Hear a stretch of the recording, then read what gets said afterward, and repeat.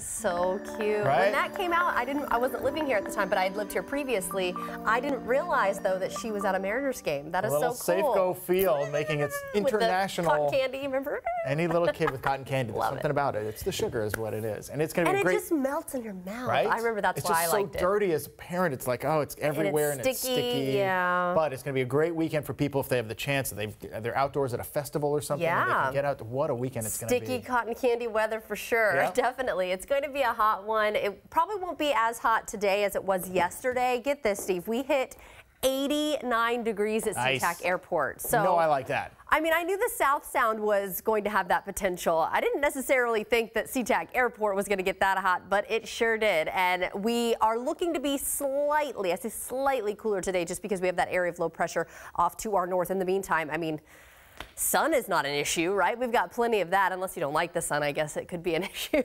but high pressure is still over us, and that's mainly dominating our forecast going forward. But you can see that area of low pressure not far to our north, and that could be bringing in uh, maybe a cloud or two, but you can see really doesn't look like it's causing an issue at all. But also slightly we're still going to be in the 80s for most spots, so I say slightly cooler temperatures. Right now, though, we're already heating things up. Chehalis, you are at 80 degrees on the nose. We've got 76 in Seattle, 78 Arlington. Now, there are a couple cooler spots, Port Angeles at 66, 68 along the coast. So it just depends on where you are, but you will all start heating up soon if you haven't already. Here is a look at the high temperatures for today. So again, along the coast and up in the northwest interior and the island communities, usually some of the cooler spots. So we're looking at 70s majority there. But as we get into the central sound, you can see we're looking at upper 70s to the mid 80s. So we do have a little bit of a range there. But again, everyone's going to have ample sunshine and we're going to be warm, unseasonably warm. As we get into the south sound, of course, that's one of the warmer spots. And we're looking at mid 80s pretty much all around, maybe a couple more upper 80s. Look at Puyallup, I've got you at 88 there. And as we take a look along the coast, as I mentioned, that is one of the cooler spots where we have some 60s, some 70s, but still lots of sunshine. Southwest interior, though, Ooh, one of the warmer spots as well. Let's go over to Eastern Washington where everyone knows what 300 days of sun. That's what they say over there. And we are expecting temperatures today in the 90s to the triple digits. So pretty much no matter where you go, you probably just have to jump in the water to cool off at this point because it is going to be warm across Washington and it's going to stick around for a while.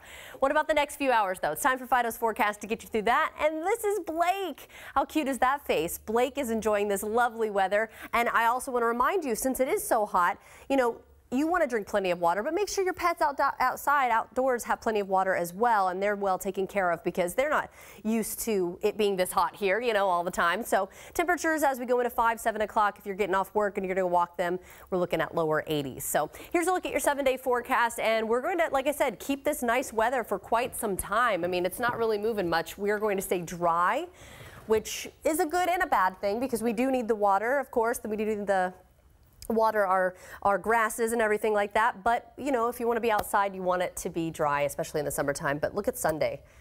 We're looking at upper 80s to the lower 90s, guys. So it is, and even as we go into the beginning of next week, it's going to stay Mm-hmm. pretty hot. So just plan ahead, wear your sunblock, your sunglasses, and drink plenty of water. Try to get in the water if at all possible. Yes. Know how you can concentrate on anything once you see one of those cute puppies behind you on the weather screen. That I me- know. Sometimes I get distracted. Blake was really cute. Yeah. Still is. Okay.